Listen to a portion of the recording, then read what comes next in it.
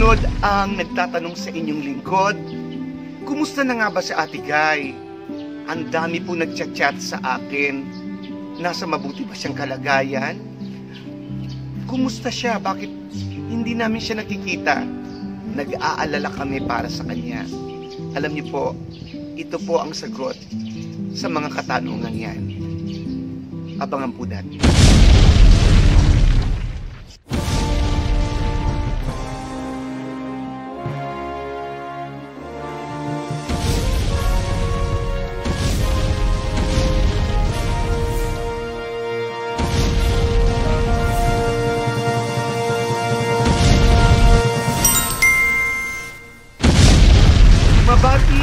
Mabuti sa lahat ng mabubuting nanonood ng Heart Expression. Kumusta po kayo? Ito po si Pepper DR ang nagsasabing patuloy po nating isubscribe ang YouTube channel na Heart Expression sa mga hindi pa nag-subscribe at ito po ay ating i-like, i-share at tapusin po ang video. And of course, gayon din po ang YouTube channel ni Miss Nora Honor, ang Nora Honor Official na talaga naman pong nadadagdagan po ang mga subscribers nito. Kaya nood-nood lang po tayo. Bago po sa pagpapatuloy ay nais ko po na ah, magbigay ng uh, pakikidalamhati sa pamilyang ah, Jaime. Natatandaan niyo po yung 82 years old na ah, ah, tagahanga ni Ate Guy no po, na in-upload natin dito na nagbigay ng greetings kay Ate Guy. Nakakalungkot po, siya po ay pumanaw na kahapon. Si Nanay Nel sa edad na 82 years old naibigay niya na po yung greetings niya. Kaya po sa pamilya ng mga nangungulila ni Ate Nel, ah, kami po ay nakikiramay sa inyo. Ayun po. At syempre po, ah, gayon din po, binabati po natin ng lahat ng may kaarawan. Si Hana Puno, ang aking apo. Happy birthday sa iyo kay ah, Kuya Kenneth, sa aking best friend, Power! Kuya Kenneth, happy birthday! Kayo po may kaarawan, God bless us all. At maging kay Ate Mir, sa aking ate, na magdiriwang ng kaarawan bukas, happy birthday! Happy birthday sa inyong lahat mula sa akin at of course sa mga Noranians na rin. At kailan, din- kailan din po ay nagdiwang ng kaarawan si um, ah, Ma'am um, Maria Teresita. Ayan. Ah, Di Mayuga. Ayan, nagdiwang siya ng kanyang kaarawan sa ganap, no? Ah, member ko ng ganap. God bless you po at ah, salamat sa inyong patuloy na pagtangkilik sa Heart Expression.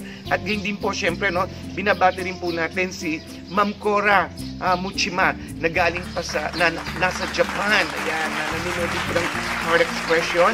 At kay ah, uh, Ma'am Maria Teresa Hetigan na mahina daw po ba yung sound ng video? Mamaya, bantayan po natin, no? Ayan, maraming salamat po, Ma'am Maria ah, Teresa, no? Sa iyong pagsuporta sa Hearts Expression. At sa lahat po, at of course, sa mother po ni ah, Kuya Edgar Castro. Ma'am Salvacion, ah, happy birthday po sa inyo. At ah, wow, 80 years napakahaba po nun, bigyan ka pa ng mahabang buhay ng Panginoon at salamat. Kayo po ay nakita ko noon sa Noranians, birth- anong anniversary ng Noranians Worldwide. Ayan po. So, ayan po ang ating mga uh, shout out, mga greetings at of course, dako na po tayo sa ating mga topic. Alam niyo po, talaga pong di maiwasan na talagang marami pong nagtatanong no po sa akin, iba't iba pong tanong, kat, katanungan na talagang mayroong, yung iba po, bakit hindi namin nakikita si ating guy? Bakit nung birthday ni, ni nung apo niya, hindi namin siya nakita? Bakit, ah, yung po, no? Bakit sa ating guy, yung sa YouTube channel niya, hindi siya masyado nagpapakita? Ang dami pong tanong, bakit, kumusta po siya? Sabi na, alam niyo po, talagang ganyan po, pag ang mahal mo ang isang tao, gusto mo lahat ng kanyang mga kimot, no? Mga galaw, kilos, ay nakikita mo. Pero, hindi ko naman po sinabing lahat ng pagkakataon. Pero, ah itong mga Noranians po talaga, katulad ko, ang mga Noranians, tayo mga Noranians, sabi po talagang nakita si Ate Guy. Nasaan ba si Ate Guy? Kumusta ba si Ate Guy?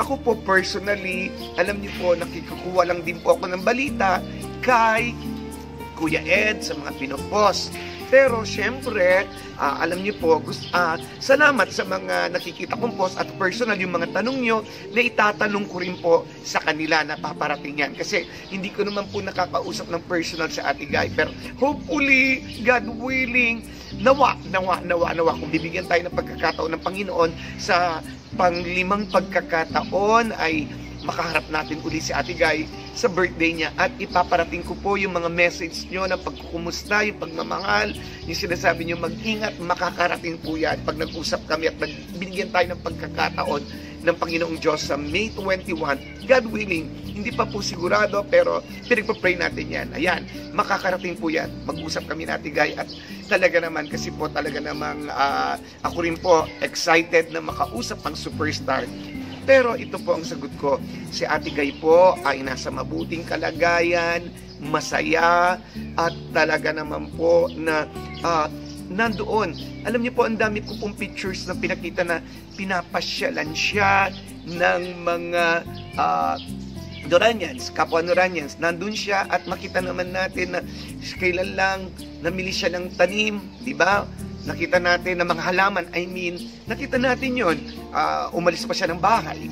So sa Atigay, talagang, kumbaga sa Atigay, tahimik lang, pero nandyan siya, malakas, at patuloy na masaya, malakas, masaya, at pinagpapala talaga ng Diyos. Alam niyo po, kamakailan lamang ay si Kuya Rodel ay nag-post ng picture na kasama niya si Miss Nora Honor No? Ayan, nandiyan yung picture, makikita natin na napaka saya nilang uh, nagkita. Si Gerdel, kailan lang po yan, no? Yung picture na yan. So, ibig sabihin, si Ate Gay po ay talagang nandyan.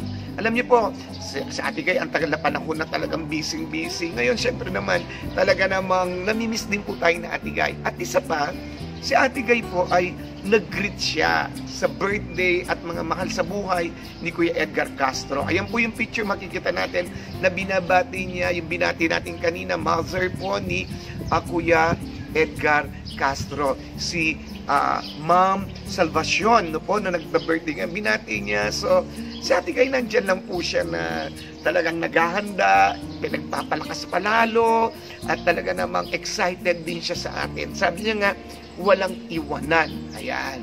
At uh, yan, kamakilan lamang po ay nakita rin naman natin na uh, pinas- pinasyalan siya ng mga Noranians nung uh, kailan ba ito matapos po yung Noranians worldwide at magkakaroon din po na magkikita tayo. Okay po si Ate Guy.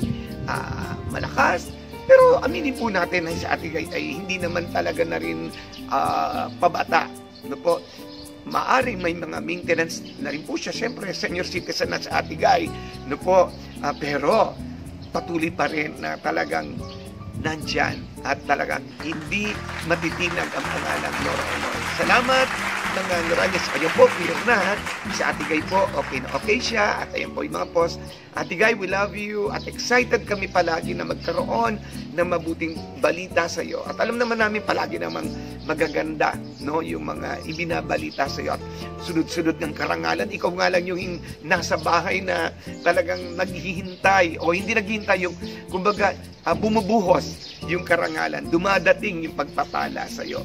Sa lahat ng Noranians, sa lahat ng mga uh, sumusuporta kay Ate Guys sa Heart Expression, pagpalain tayo ng Diyos. At uh, ito po si Kipperly R. na nagsasabing, God bless us all and as long as there is love, we will stand and to God be the glory. Thank you and mabuhay. Salamat po.